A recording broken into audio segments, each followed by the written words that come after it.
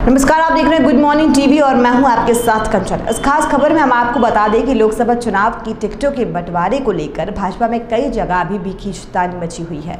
जहाँ सीधी लोकसभा क्षेत्र में रीति पाठक को टिकट दिए जाने के बाद मचे बवाल को भाजपा ने समझा बुझाकर शांत करा लिया है। वहीं शहडोल लोकसभा क्षेत्र में हिमाद्री सिंह को टिकट दिए जाने का अभी भी तेज विरोध जारी है। हिमाद्री सिंह को भाजपा द्वारा शहडोल से टिकट दिए जाने के बाद पार्टी से नाराज़ सांसद ज्ञान सिंह ने गंभीर आरोप लगाए हैं। ज्ञान सिंह का कहना है कि भाजपा भाजपा ने शहडोल लोकसभा का टिकट करोड़ों रुपए में बेचा है। उन्होंने कहा कि मैं करोड़ों रुपए नहीं दे सकता था, इसलिए मुझे टिकट नहीं दिया गया।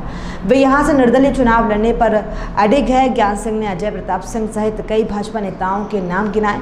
बोले, बसपा और गोंडवाना नेताओं का भी मुझे समर्थन मिल रहा है। कांग्रेस की बागी को उम्मीदवार बनाकर भाजपा ने शहडोल संसदीय क्षेत्र में नई मुसीबत मोल ले ली है। टिकट कटने से नाराज़ सांसद ज्ञान सिंह अब भाजपा के हाथ नहीं आ रहे हैं। एक और जहाँ ज्ञान सिंह ने निर्दलीय चुनाव लड़ने का ऐलान किया तो वहीं दूसरी ओर उन्होंने ये आरोप लगाकर भाजपा को कटघरे में खड़ा कर दिया कि संभागीय संगठन मंत्री जितेंद्र लटोरिया और मध्य प्रदेश सरकार के पूर्व मंत्री संजय पाठक ने पैसों के दम पर हिमाद्री सिंह को टिकट दिया है।